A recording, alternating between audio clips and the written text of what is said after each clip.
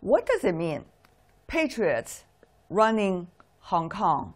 How would you understand that? A patriot means somebody who loves his country, heritage, and also loves his city and its people.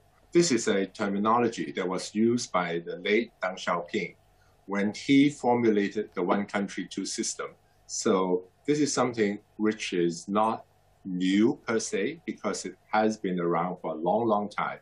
And indeed, I believe most Western countries will understand this very, very well that patriots should be the ones who run the country and should be the ones who are in charge uh, for the benefit and for the benefit of the country and the benefit of its people. But now here's come the pragmatic issue of who should be in the LegCo, who should be in the local council, and who should be the chief executive of Hong Kong. Definition of patriot uh, become extremely important in this regard, at least for the very first time. Now, when I say patriot, mm. I don't mean that someone have to say yes to everything, because every community uh, every healthy community should have a healthy dose of people who have different opinion. And Hong Kong is a very diverse community, making up of people from all spectrums of life, and for, for and people that comes from all over the world and call Hong Kong home. So I think one of the beauty and as well as the strength of Hong Kong is our diversity and our inclusiveness.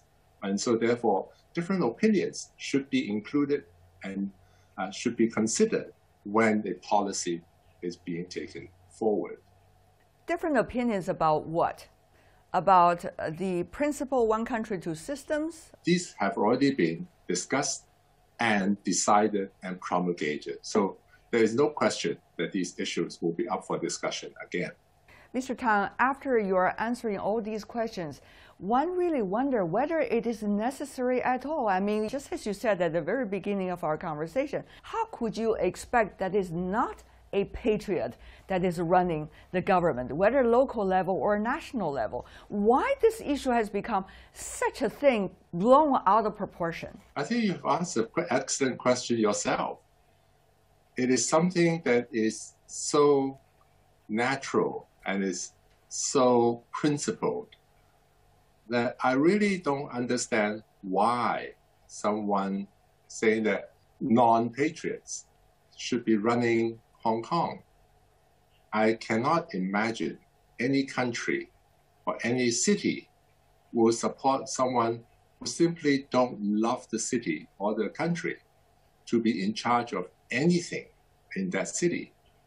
Can you imagine the city of New hmm. York, run by people who hate New York, or someone, or the city of London, run by somebody who despise the city of London.